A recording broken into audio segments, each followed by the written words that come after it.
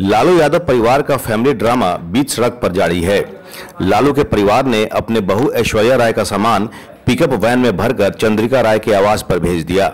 सामान भेजे जाने से ऐश्वर्या राय के पिता चंद्रिका राय विफर गए। उन्होंने कहा कि वो किसी भी परिस्थिति में सामान रिसीव नहीं करेंगे।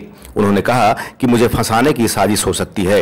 राबड़ी देवी की ओर से भेजे गए सामान में विस्फोटक हो सकता है। नहीं हमने हमने हम तो जानते ही नहीं कि इसमें सामान क्या है और आप मुझसे पूछ रहे खुशी से दिया था कि बेटी से दिया शादी के वक्त आपने क्या खुशी से दिया नहीं नहीं शादी शादी के समय हम लोगों ने कोई कोई चीज़ की मांग नहीं हुई थी। बाद में जो भी प्रताड़ना झेल रही थी जो उनकी फब्तियाँ जो सुनने को आ रहा था वो बात है ये ये दहेज वाला शादी नहीं है। आप सभी लोग जानते हैं। बाद में आप लोगों ने दिया था ये सब सामान। नहीं नहीं बाद में अरे भाई जो छोटा मोटा सामान दिया जाता है लड़की के साथ वही उन लोगों ने दिया था और क्या दिया जाता है? वो कोई दहेज का मामला नहीं है कोई। अभी ये जो सामान है आपका सामान है आपने ये हम नहीं जानते हैं। मैंने आपको बार बार बताया है कि वहाँ से जो भी सामान आया है मैंने देखा भी नहीं मैंने रोक दिया है कि जब तक ये सामान वेरीफाइड नहीं होगा तब तक इस पर कोई बात नहीं अब आगे क्या है? आप लोग का आगे क्या हैं? स्टैंड है आगे का स्टैंड है मैं एफआईआर करने जा रहा हूँ। इस तरह से हम लोगों को सामान भेज करके फंसाने की भी साजिश हो सकती है या दूसरी भी इन लोगों के मन में कोई पाप हो सकता है। वही मैं क्या क्या एफआईआर कर रहे हैं? बिल्कुल एफआईआर करेंगे। लालू यादव के समधी चंद्रिका राय ने कहा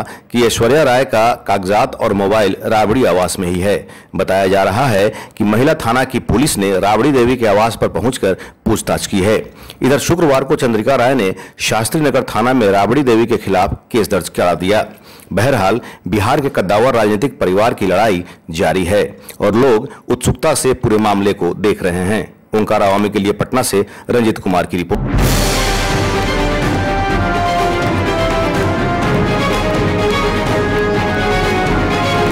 बीजेपी के वरिष्ठ नेता रहे सूरज नंदन कुशवाहा की प्रथम पुण्यतिथि समारोह 29 दिसंबर को मनाई जाएगी। पटना के विद्यापति भवन में होने वाले समारोह में बीजेपी के वरिष्ठ नेता और मंत्री उपस्थित रहेंगे।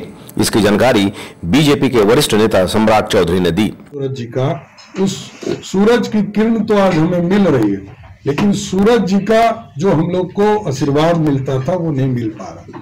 तो उन तमाम चीज़ों को हम लोग वहाँ पर अपनी बात को रखेंगे, और जो ये समाज में, जो उनका संदेश था उसको पहुँचाने का प्रयास करें। स्वर्गीय सूरज नंदन कुशवाहा बीजेपी के समर्पित नेता रहे और बीजेपी को आगे बढ़ाने में महत्वपूर्ण ज़िम्मेदारी निभाई। बीजेपी सूरज नंदन कुशवाहा की पुण्यतिथि के बहाने वोट बैंक को साधने की कोशिश में भी जुटी हुई है।